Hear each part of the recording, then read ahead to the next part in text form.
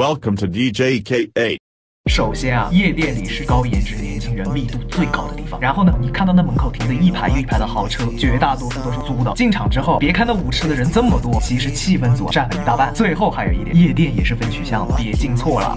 首先啊，女生你如果看到有小姐姐要加你好友，说什么下次一起蹦迪，她可能另有目的。再一个，很多卡座上摆着的黑桃 A，还搞个保鲜膜罩着，基本上都是租的。还有一点，营销如果突然找一群陌生人来跟你敬酒，他就是想让你把酒赶紧喝完，要么继续消费，要么走人。第一，不要和别人起冲突了，万一发生冲突，务必不要离开夜店。第二，有的营销呢，为了提高业绩，会让你晚上十点前到，这样同一张桌子就能接待多组客人。第三个，很多没去过的人说夜店很乱，其实这乱不乱取决于你想不想乱。绝大多数的夜店为了增加人气，会给一些高颜值的小姐姐开免费的招待台，然后呢，看到有人开了个神龙套，有可能是夜店为了促进消费，自导自演请的托。还有一点，女生如果碰到咸猪手，立马制止，否则对方会以为你默认她的行为。